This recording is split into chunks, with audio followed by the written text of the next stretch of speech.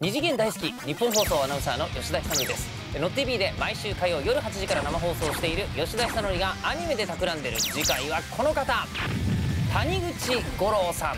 人気アニメ「スクライド」や「コードギアス」や「プラネテス」男の子の大好きな宇宙やメカの作品を作ってきた人がこの夏からなぜか女の子向けファンタジスタドールを作ります。一体何があったのか。